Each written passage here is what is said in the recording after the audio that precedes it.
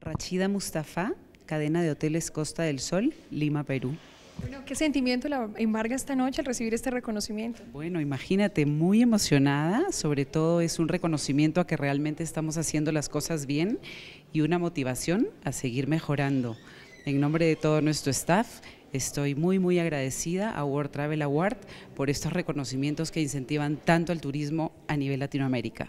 ¿Cuál cree que va a ser el impacto posterior a la recepción de este reconocimiento para el futuro de la compañía? Definitivamente más pasión por lo que hacemos. Bien, ¿y cuáles son los retos que tiene la compañía en los próximos años?